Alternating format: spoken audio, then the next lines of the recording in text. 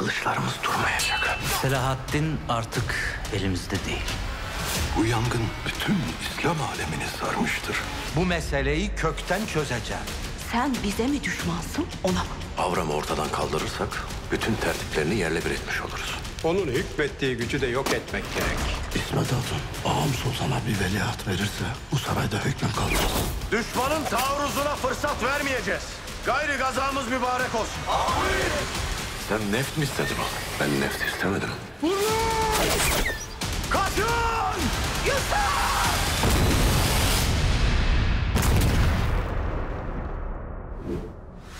Kudüs Fatihi Selahaddin Eyyubi bugün TRT 1'de.